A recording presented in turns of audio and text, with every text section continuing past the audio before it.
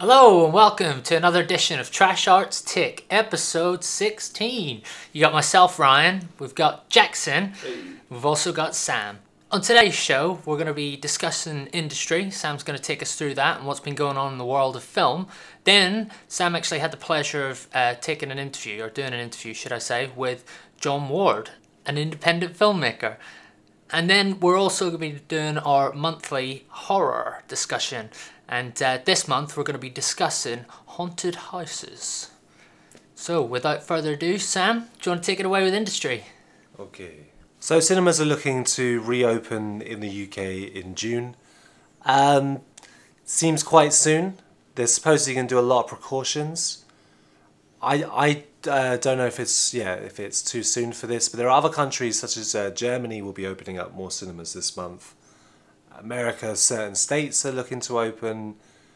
Things are starting to go a bit back to normal. Austin theaters were open a few weeks weekends ago, and essentially three thousand people turned up on that weekend. Crikey, that's terrible. Yeah, and this is for old films like um, Bloodshot and The Hunt, all those March releases that Yeah. were never to be. So it's kind of, it, I don't know, it's like yay for cinemas, but is it yay for us as a society? I suppose in terms of like the film industry, it's kind of good news because they're going to get some revenue. But as a person, it's a little bit worrying. Yeah, and the industry is looking to move forwards. Uh, there is a production plan that the UK is currently producing. Steven Soderbergh uh, is working with DGA to try and get a method of when they go back to work of how they're going to do it. It's all still kind of up in the air, and maybe too preemptively soon. We'll see. Paul Schrader, um, the film director and writer, he had an idea about like getting Netflix to essentially put all the festivals on to do some sort of special streaming kind of uh, thing through their subscription. And I think it's a good idea. Whether people would actually do it, I don't know. But the whole way that we're supposed to, with award season coming up later in the year, the whole usual route to it doesn't work anymore. So I think people are trying to find a new kind of Solution. yeah, essentially, yeah. In casting news, Cate Blanchett has been cast in the Borderland film, which um, I forgot was being made, but it's being directed by Eli Roth.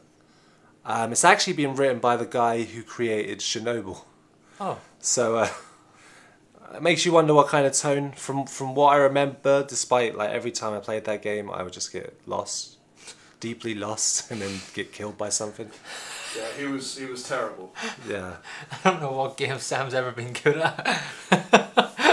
But it's got a sense of humour to the game, and Eli Roth's known for that, so maybe this will be good. She's going to be cast as Lilith. When it goes into production, that'll be decided later, but I guess they're clearly gearing up to something. I guess they're hoping to shoot by the end of summer. Tom Cruise, the man who will do any stunt and also kind of crazy with Scientology, is shooting a film in space with Elon Musk. So, you know, first thoughts was okay, Mission Impossible's gone to new places. But doing, there's not much research you can do about it, but apparently it is a new narrative film produced in space. I just uh, what uh, they don't need to go to space for this. They don't like what a waste of resources. It's stupid. Sorry, I, I it makes me really angry. I like it. Yeah, The jury's out. It's, it's whatever reasoning, and yeah, it is pointless for the cost of it and stuff. But at the same time, environmental cost of it. Sorry, I'm getting political. it would be interesting to see a film shot in space. But uh, what's the reason? Is it just like because it's Tom Cruise and Tom Cruise wants to film in space? Is he going to do the greatest stunt ever done? Guess we'll see. what would that look like? I don't know. I've been trying to picture it, and I, I can't picture what he'll do. But we'll see. We'll see. I mean, he is He'll also run in space. He, loves a run. he is an actor. We have to remember that Tom Cruise can act, and now and then does like to try and act and He's not been, just do he's stunts. been known to. He's been known Yeah. to act. Uh, no, come on. I like. I think Tom Cruise is always a win. It's a choice. It's a choice. It's an opinion. Yeah. Spike Lee's new film, which is coming out on Netflix, has just been announced. It's going to be released next month on June the 13th. Which is kind of surprising. I mean, Netflix like to do this. They don't always like to tell you months beforehand. They'll just be like, boom, new film. That's it. And I feel like it was going to screen at Cannes Film Festival. Pretty much guaranteed. I mean, Spike Lee was the head of the jury. It was going to be screened. And it'll probably still play into the festivals, um, not festivals, the awards later this year. I'm quite looking forward to it. Spike Lee's, he's a genius. He's a very unique voice, and it's only recently that he's actually been given more of a budget to be able to do what exactly he wants to do. BlacKkKlansman made a lot of money. So yeah, that's uh, 5 Bloods. That'll be coming out next month, and it's a Vietnam film as well. So it'd be interesting to see him do a war film.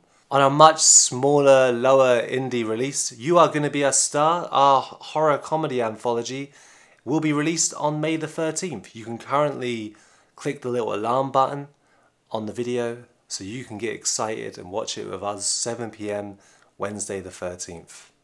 On YouTube. Featuring a collection of different indie actors who have all shot this film during isolation. It's kind of silly and it's, and it's supposed to be just a bit of fun. So, I, yeah, hopefully you'll be with us on Wednesday.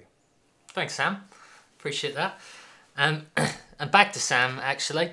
So Sam had the pleasure of having an interview with John Ward, an independent filmmaker like ourselves. So uh, over to you, Sam. Okay, it's Trash Arts Talk. I'm here with John Ward, who is a filmmaker from Las Vegas. Is that right? That is correct. So let's talk a bit about how you got into filmmaking. Uh, it originally started way back when. Um, I saw Star Wars and Close Encounters and knew that's what I wanted to do. And then once I was able to start playing around with, uh, you know, like Super 8 and 8 millimeter, uh, and then went into VHS, just did little projects here and there. And uh, high school started shooting like uh, music videos for the uh, for my friend's garage band, and then ended up going to two community colleges, uh, College of Marin in Northern California and Los Angeles City College in Southern California I took a bunch of filmmaking classes, made a bunch of shorts. Some were finished, some weren't. Went off, uh, was a PA uh, for uh, commercials and, and uh, uh, films, short films in LA. Uh, and then things just kind of stopped.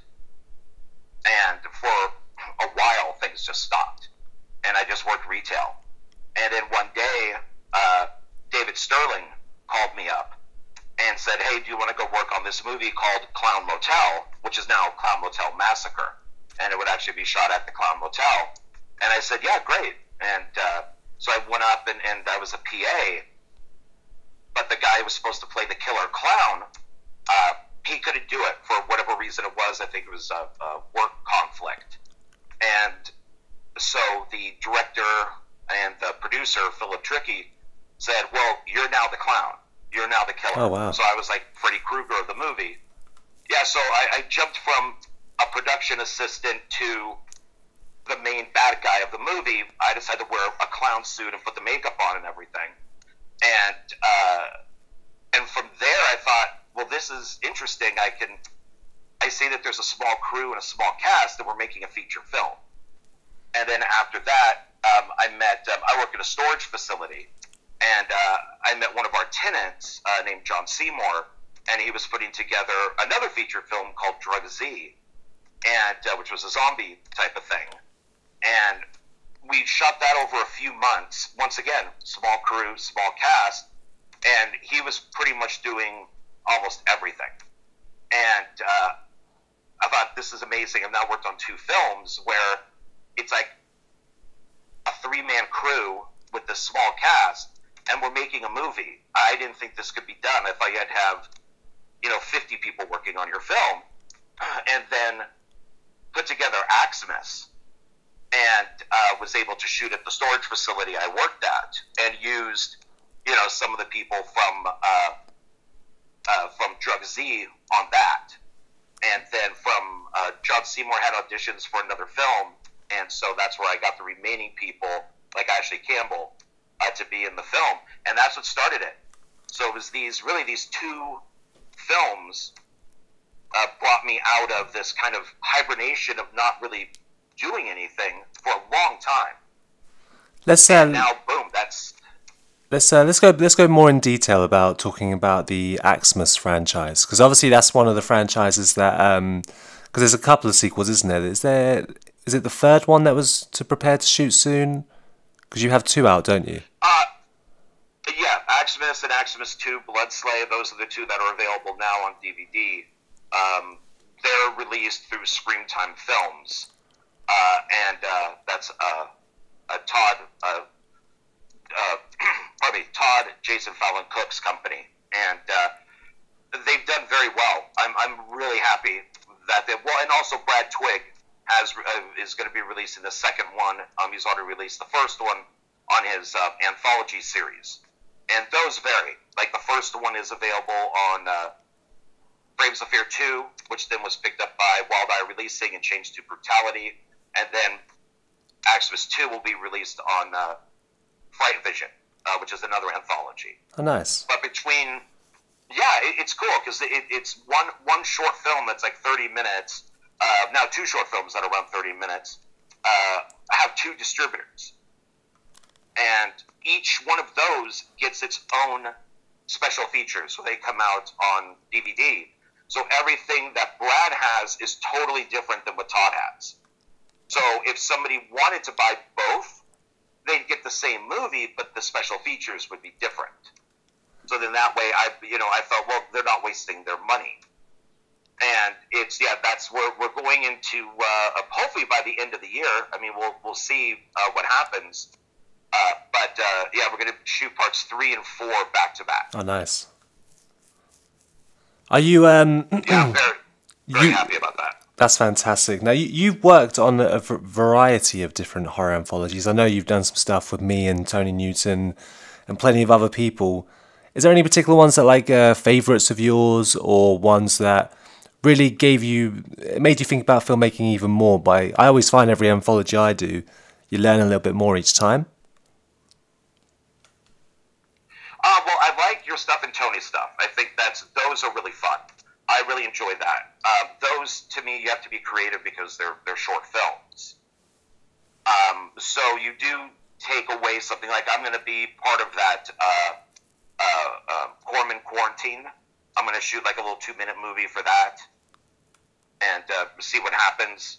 Uh, so you do get uh, you do learn more on on each one and. Uh, so with with some of the other ones that I've worked on, it's been hit and miss. So uh, yeah, you, you take away something from each one, and uh, but with the ones that have already been shot, those I did look because a couple of those were found footage, uh, which is one was called uh, Cannibal, the other one is called uh, If I Can't Have You. Those are found footage, uh, so those were fun to put together and then I did Skull Evil, and which was the first film that I shot, edited, wrote, directed, did everything myself. Nice. And, it was, and that's how I learned how to use the camera, uh, Premiere Pro, all of that stuff. So yeah, you do. You definitely get something because I never shot found footage before. That, and that was fun to do. I would do it again. Yeah, And, found uh, found footage is very. uh, Oh, sorry. I'm sorry. I was just going to say, found footage. Yeah, you.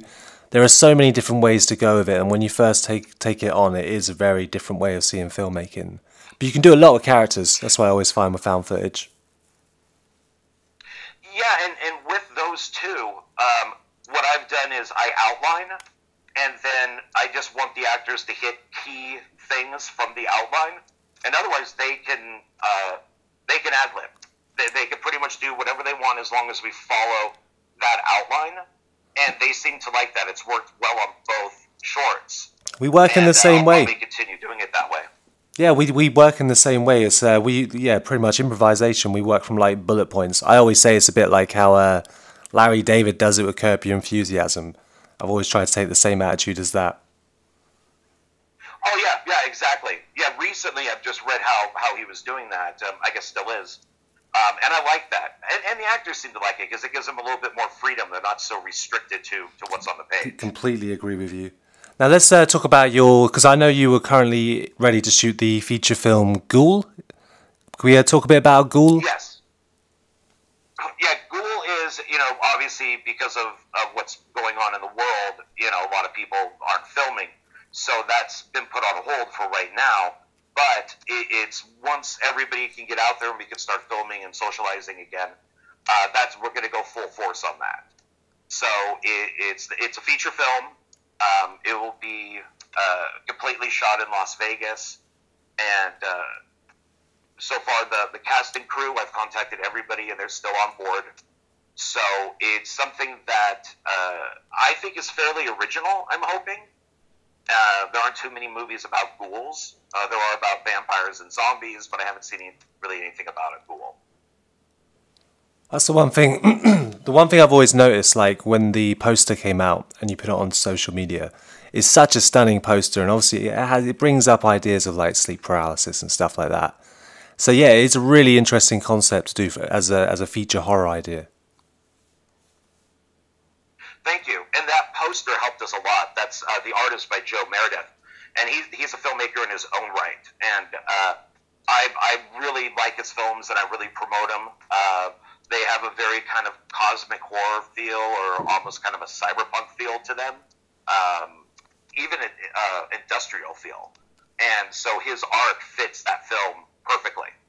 And I like using one artist for each film um, I don't kind of want them to go back and forth between projects. So Joe is is our our ghoul um, artist. So hopefully once this whole thing is done with, and, and like I said, we can get back out filming again. Uh, you know, I can have him do some more art. No, I, I know that feeling. I just want to get back to filming, but um, yeah, it's it's interesting though because you've always been someone that I've seen who you know you do a lot of promotion for other indie filmmakers. I always see you share like because you're obviously in quite a network of filmmakers around you as well, kind of similar to what we sort of have in the UK. I've always noticed similar names popping up when you're attached to certain films.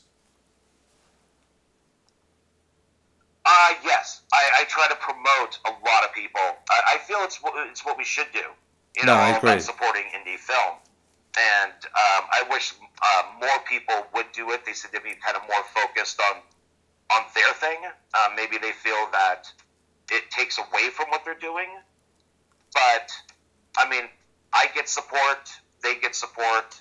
Um, so I think it's the the right thing to do is is promote other people.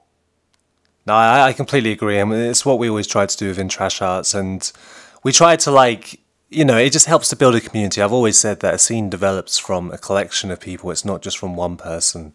And generally, most people, like you say, they tend to agree with that idea. Now, um, let's talk a bit about, and I've asked this question a few times, and everyone always says the same thing to me, but ignore money.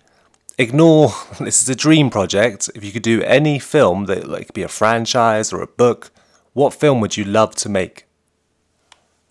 Oh, I know that instantly. I'm Legend.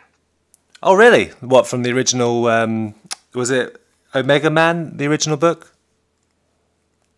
Uh, well, the original book, yeah, Richard Matheson is I Am Legend. Yeah, they, they changed the title for the uh, for the Charlton Heston. Ah.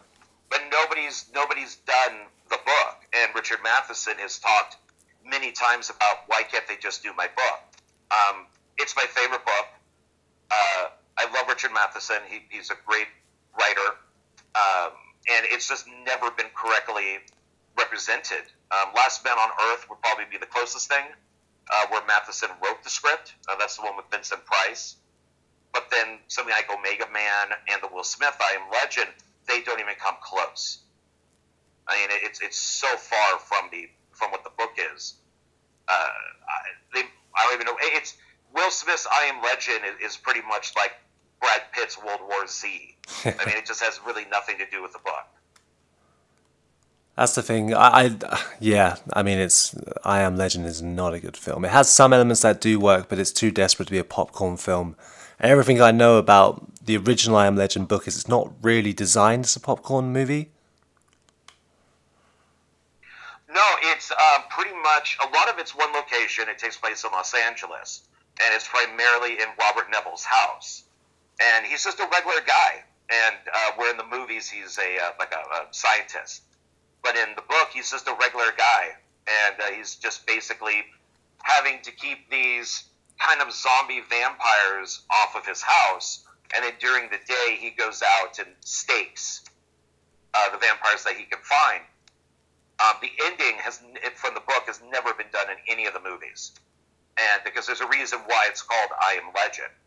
and um, it's just something that could be done on a really small budget. Uh, you don't want a Schwarzenegger or Will Smith in it. Uh, I remember a while back they talked about uh, like Richard, uh, yeah, Richard Dreyfuss, the kind of Close Encounters Jaws Richard Dreyfuss Mm. would have been like perfect for the uh, if they did a correct adaptation of the book to the screen. It's just to me, it's just an amazing uh, book, and he's done some of the, you know, of course, Duel and some other things have, have are just you know his uh, Twilight Zones, and he's just an amazing writer. Have you ever thought of approaching like doing, as you said, it's it's quite a simple story to do on an, an indie budget. Have you ever thought of taking the story and being inspired by it and trying to do it as a feature? I would like to, but I think you know Warner Brothers, I believe, owns the rights to it. Um, Will Smith might even own the rights to it. As You could adjust the name a little bit, you know. It's it's it's been, you know, you could take that story and just tweak it a little bit and just take away the legend bit, you know. Well, and, and they did. Uh, the Asylum made I Am Omega. That's the So asylum for they, you. they tried it. so it, it's yeah. There's a lot of stuff that would have to be updated in it uh, because the book takes place in the 50s, and um, uh, or was actually was written in the 50s. So there has that. Uh, it, it's all about communism and the Red Scare.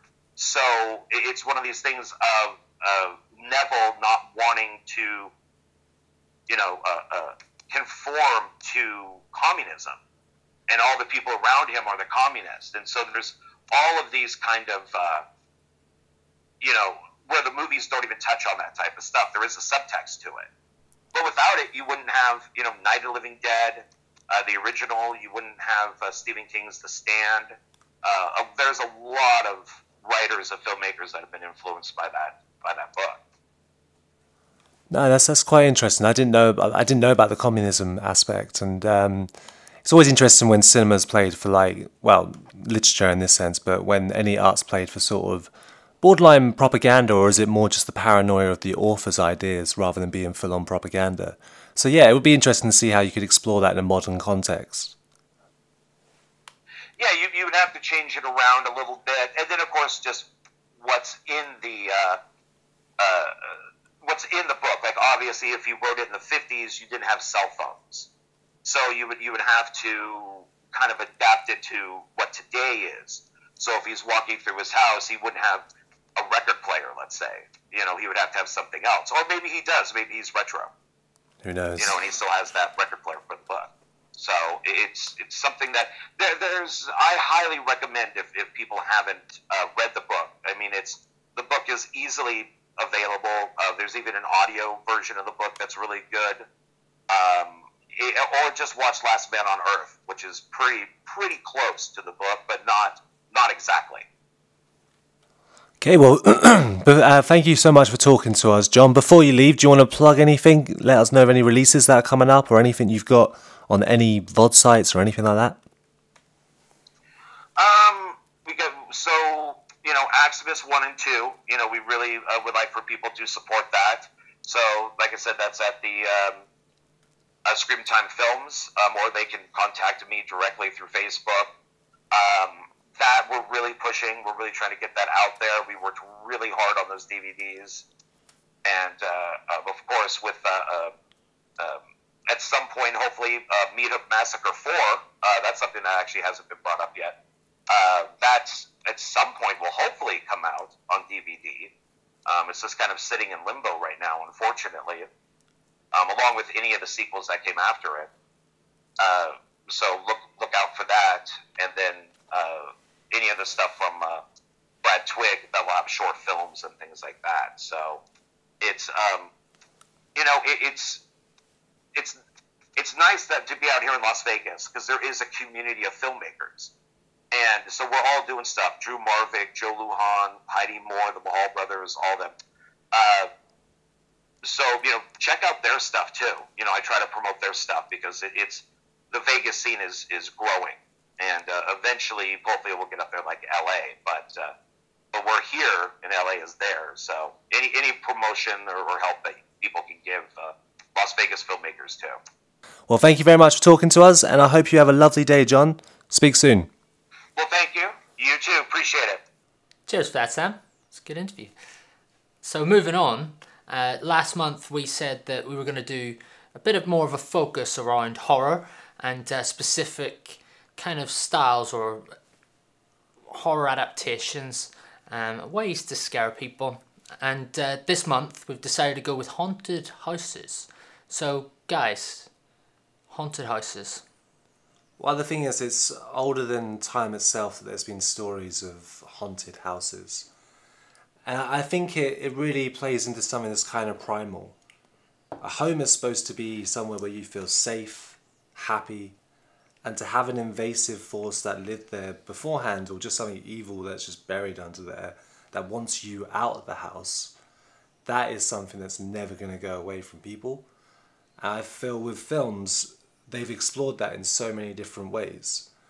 I think you're right. In that sense, it's, it's almost like a, a home invasion. And Yeah. It's, it's the fear of the unknown because how many times have you guys moved into a new house? You don't really know the history of the house as such. I You- always have my precautions to check if it's haunted. Uh, yeah. well, how do you go about that? You have one viewing, maybe two.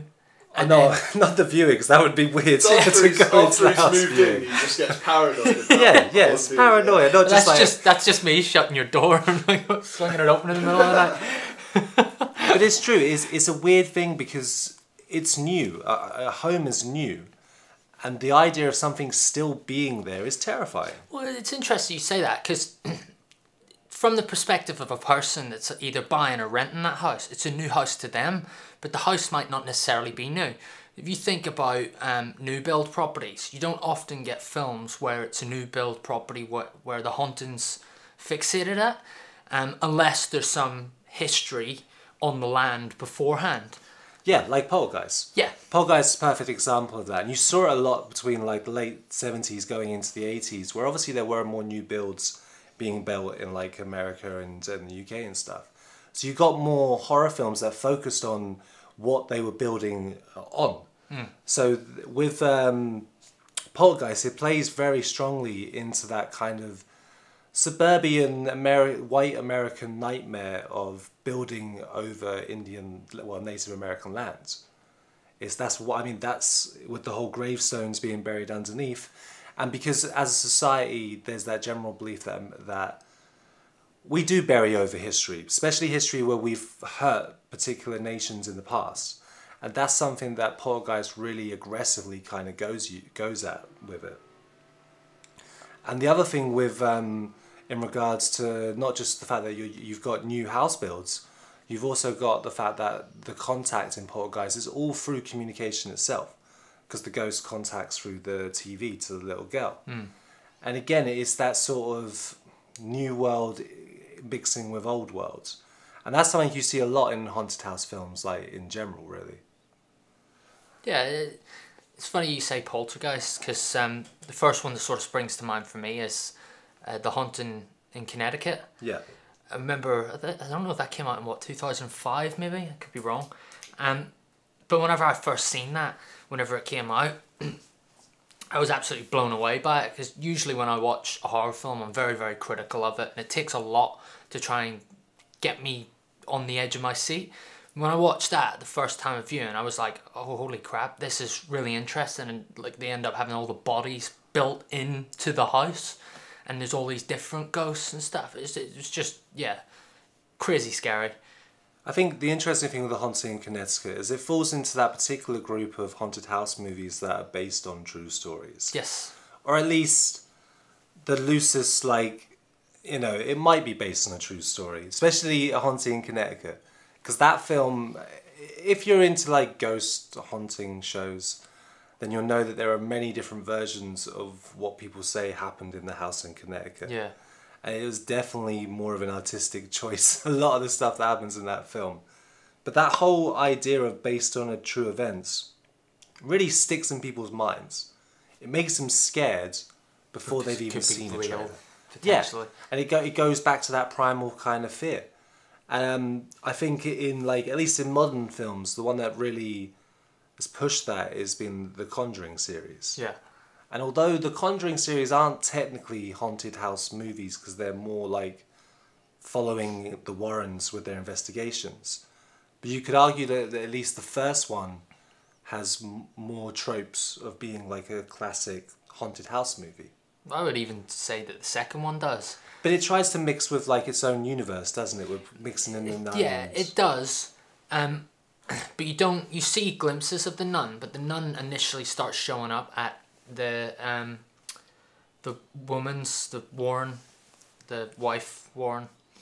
Yeah, during one of the earlier investigations. Yeah. No, yeah, uh, no, it was at her house, wasn't it? Oh yeah, yeah. and yeah. she walks into her office and stuff, and then there's the picture, and then it, it ends up being there.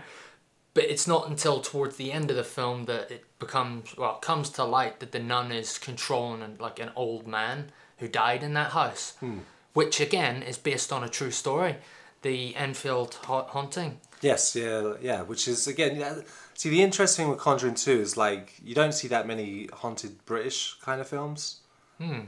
and I, I feel that's strange because you get so many like period piece ghost haunted sort of stories set in Britain, where like it's an old castle owned by an old count or something.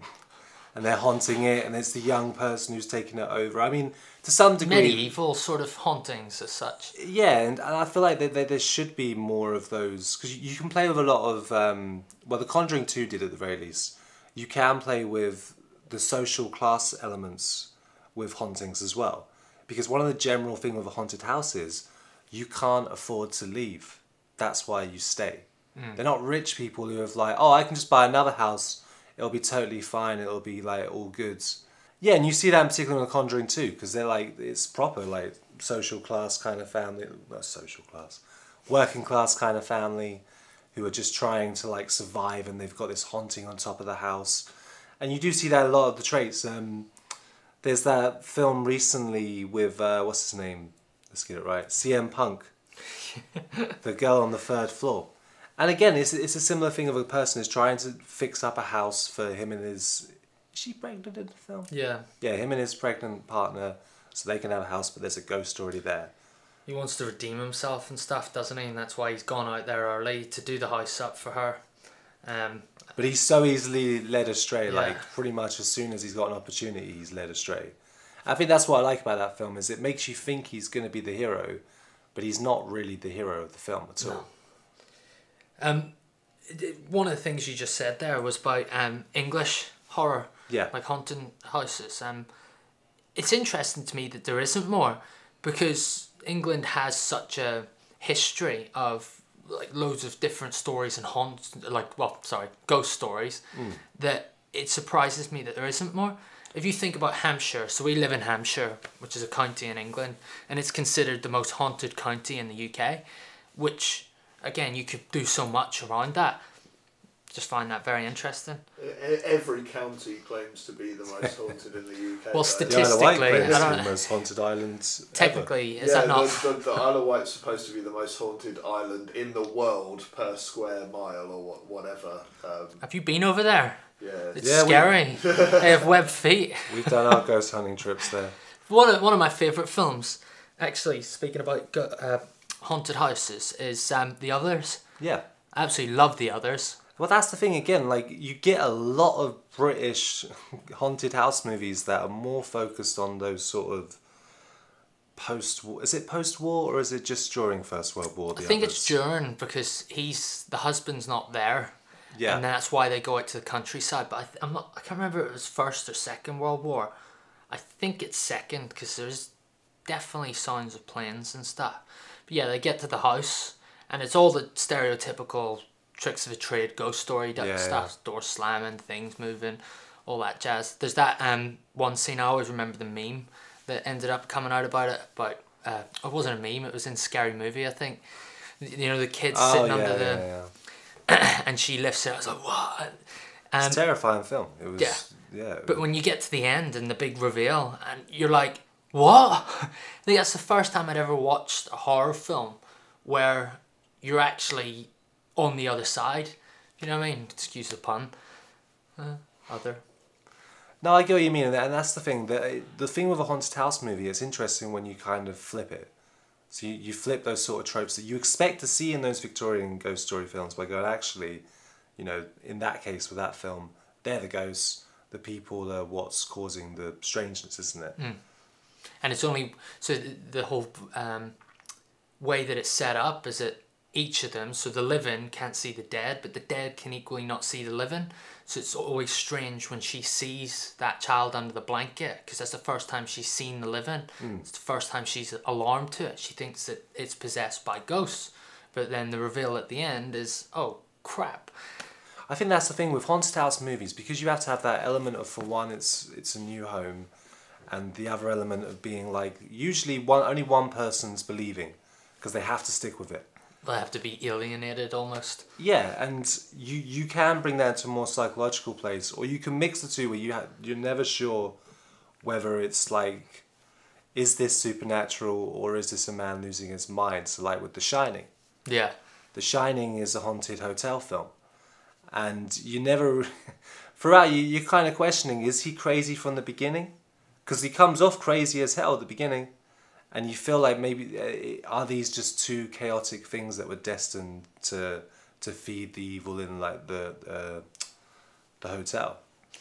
But that's where The Shining works really, really well, is that it leaves it to the audience perception. Definitely. Um, so rather than you have a definitive ending that, oh yeah, it was definitely a ghost and he actually only went crazy because the ghosts basically tormented him to the point where he just went mad, you never know. Mm. Is it? Isn't it? And especially with the kid being quite creepy in, in a way as well, the whole red rum stuff. I think that the whole idea of that playing on that idea is really, really decent. Yeah, I think we were saying well, we were trying to remember exactly what happens at the ending, but this is something Stephen King quite likes to play with, though, especially with haunted house sort of stories, is to mix in the is this actually more of an inner trauma going on with the person who needs to understand it, or is it more supernatural forces happening around them? And um, in the film 1408, they, they definitely explore that. And I can't remember what happens exactly at the end, but you definitely still on the on the fence. It, it, it always sticks out in my mind as being a great horror film, like a great haunted house horror film. Um, but I've forgotten the twist. That's it. It's either like because there's there's some sort of twist in there, and it's, It's something that, like the hotel room. The number is obviously relevant. yeah, it's one of those twisty ones. This will be the first time that we haven't accidentally given a spoiler of what the twist is. Go and watch it. We'll be watching it as well. We'll probably do a review. the whole psychology thing when it comes to haunted house movies. If you go back to um, in the '60s, when you have one of the most famous haunted house movies, The Haunting, and The Haunting, you're still again you're on the fence because this this woman is slowly losing it throughout, and she's got she's experienced some sort of trauma where you're like, is this something that she's just witnessing, or is she plagued by what the house beholds? And that that's one other thing with haunted house movies. You you either have it where it is the new people going in and the thing wants them out, or the thing in the house wants them to experience whatever they've been through. I always find with haunted houses, there's maybe like one of two ways you can go. Like, they go into the house and then stuff starts to happen, but it's never really revealed what it is, and you play with the psychological element of it. Is it? Um, I, th- I don't. I haven't seen it. Is it Hereditary? Hereditary is demonic possession. I know it's demonic, but that kind of idea where she ends up getting isolated and no one believes her and stuff, and then goes a bit mental. Um, you either have that, so it's psychological, or you pre-establish. Mm, you might not necessarily need to pre-establish it at the start, but you have your Folklore your ghost. Yeah. Yeah, uh, you yeah, you have a story. So the woman in black yeah. Uh, Think yeah. so. It's on an island. There's this house. Traged tragedy struck like years before, and I love that whole kind of Victorian era and ghost story kind of thing with that, or even just haunted house with that. Um, by the end of the second one, though, they kind of twisted it, but the first one is brilliant, and the way that they um, do the jump scares and stuff was very. It was very subtle. I think like there was one where she you could see her in the background behind Daniel Radcliffe's shoulder and then it cut to her perspective Yeah. and she's then starts walking and you just see in the corner like she cuts past the mirror and I, I really enjoyed that because it wasn't led by music it was led by just the scenes Yeah, yeah. the tension I think that's that's the other thing with ghost house films. Um, there's a lot you can do with, well, how to create that effect. And I personally, I there is some CGI that can work, but when you get old practical effects and you don't see the strings, and just getting the right sort of camera angles and uh, the right sort of double exposure for the ghosts, and just, I think that's why like Poltergeist and of course the the, the horror film we haven't mentioned once, Amityville Horror, the classic of all ghost haunt, of all true story haunted house movies. It plays on the fact that it was that prime time with practical effects and horror, so you get some really effective scares. Uh, I I think one of the most effective elements in any haunted house movie is sound. Yeah. Sound can be so effective in how to scare the hell out of you because we're always hearing those weird sounds around the house and thinking, where's that sound coming from? Where could it be? And tr- trying to find a natural source of it, you know? But even equally to that, no sound. If you think of how silence can build tension, Yeah. like if, if say for example, one of the stereotypical ways of doing it is they hear a sound and then the, the main character go- goes and starts to look, but there's no sound. You just kind of yes. Yeah, following yeah, yeah. them, and that easily builds tension because you're waiting for that jump. Mm. You're, you're kind of like, oh, okay. Well, there's a reason why like haunted house films can seem can seem a bit like either like a theme park ride or some sort of puzzle, some sort of game because it it has to be built on those little points where you're playing in all the different senses of how that character's going to be needs to get the fuck out of the house basically, and as an audience they're going to see that the physical, the mental strain, the, the the potentially the violent kind of response. And I think that's what makes a really good haunted house movie that plays on all those levels that you naturally would be like, I would, yeah, if I was in that situation, I'd get the hell out of there. There's claustrophobia to it, isn't there? Hmm. I think as well that whenever you've been put into an environment that, like you said earlier, you can't necessarily just get up and go. You can run out of the house, but equally you've got to go back into the house. Yeah, you you're under, and in most, yeah, it's either that is like that in the folklore sense, you tend to see it more towards, um, yeah, they they have to stay in the house for whatever reasons outside, or they were planning to stay in the house and that was the mission. But it's interesting when you do put those economic boundaries where they have no other choice, and that's the one thing that with a haunted house movie, it's all about endurance. How far would they endure surviving and living in that house with the ghost, or is the ghost going to eventually push them out? And generally speaking, horror movies, uh, they're going to be pushed out. Yeah, they definitely have that, and there is that um, economical side to it where they can't just leave. Um, they're almost cornered, and then as the the spiritual events, I suppose, heighten, they get more and more, well, harder, I suppose, to endure that that kind of intensity and the stress. And that's it. And that's that's the basic of like, it's just such a I keep saying it, but it's a primal fear. Having all of those kind of stress, haunted houses of stress. It's massive stress. Yeah, I think it's almost like there is a, um, a symbolism to that where you could associate and say, okay, that's that's one of the major themes of a haunted house movie is the idea of stress. Cool. So, hope you guys enjoyed our take on haunted houses. Um, as ever, please give us a subscribe. Um, give us a like. Leave a little comment if there's anything you want us to review, or equally just what you thought of the the podcast. And uh, yeah, give us a share as well if you could. Uh, don't forget Wednesday seven o'clock. You're going to be a star on YouTube. Uh, click the reminder button. Other than that, Trash Arts take out. Bye bye. So,